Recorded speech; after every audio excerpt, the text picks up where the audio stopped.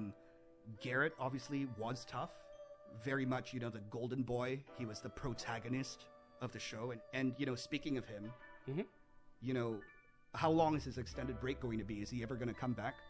Now, as far as Garrett's intentions, I have no idea. I've not spoken with him. I don't know if he has intentions of coming back or has spoken. I don't think he's spoken with Ryan, so we have not spoken with him.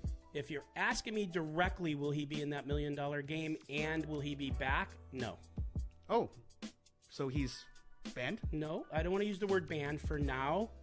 Uh, we're, that's just not going to happen. We made a business decision for now. Is anyone else banned?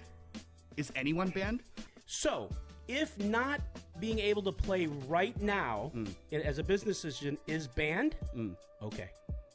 Hmm, if- see. I prefer to say that right now that's not happening.